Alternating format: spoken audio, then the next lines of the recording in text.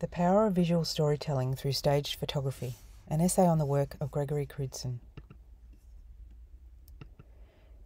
In this essay, I aim to address the questions Is the staged surreal photography of Gregory Crewdson considered important in a psychosocial context? Can we be dis- disillusioned with reality and thus desire to create our own reality? Can staged photography help us to integrate our dual natures as humans and in doing so create psychological balance? American photographer best known for staging cinematic scenes of suburbia to dramatic effect.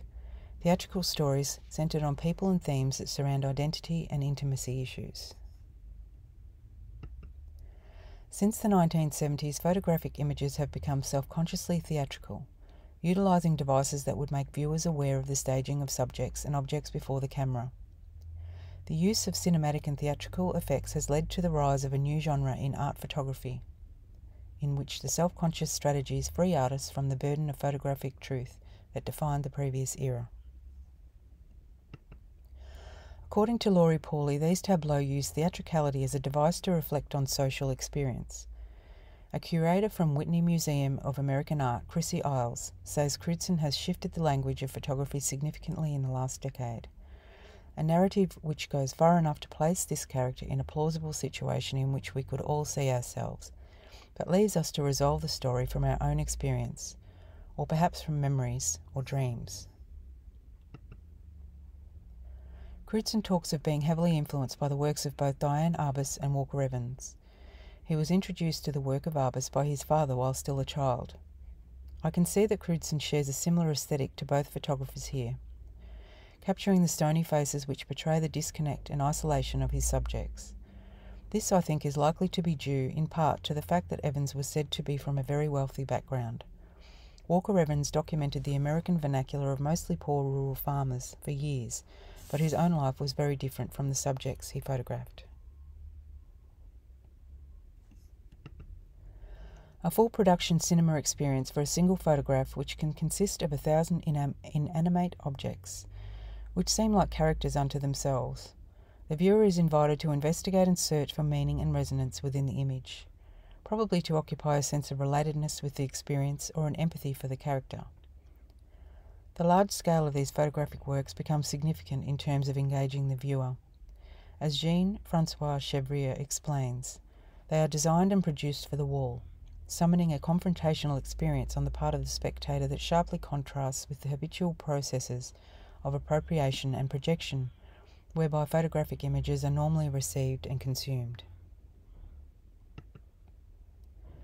When referring to the work of Walker Evans, Crewdson identifies with the same kind of objective to capture a perfect facade which sets the scene by which a deeper truth comes through, revealing a conflict or paradox within the image. This then evokes the question what happened, or what is about to happen? This makes the work of Gregory Crewdson intriguing and interactive.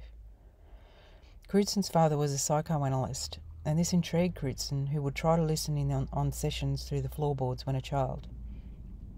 The untitled image featured here is a visual representation of this experience. My work is a play on psychological mirrors, says Crewdson.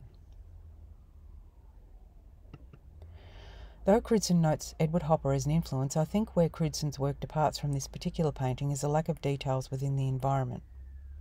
As Edward Hopper matured, he left more and more visual detail out of his paintings and focused on the psychological reality of his subjects.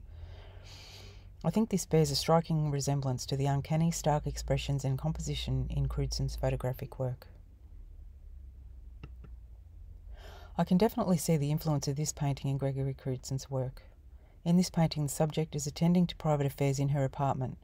The anonymous woman in Night Windows is unaware of any viewer's gaze. The painting exposes the voyeuristic opportunities of the modern American city and the contradiction it offers between access to the intimate lives of strangers and urban loneliness and isolation. Since the 1980s, photography has become a sort of reflective mirror that reveals the nature of contemporary representation. Within this context, the best work is that which is capable of reaching beyond its own artifice and showing itself as relevant to social circumstances. Joan Font Kurbiter writes Today, however, the real merges with fiction, and photography can close a cycle. return the illusory and prodigious to the plots of the symbolic that are generally, in the end, the actual hotbeds where the interpretation of our existence is cooked. That is the production of reality. Through simulations, we consume experience, and in the case of stage photography, it is possible to acquire experiences and develop emotions and thought. The hyperconsumption society raises a set of myths, dreams, and imaginary that offer an alternative world to a hopeless present. In this sense, simulations can be ways to happiness, as they encourage to renew the elements of our insistence on changing life, proposing new perspectives and some sort of alternative consumption.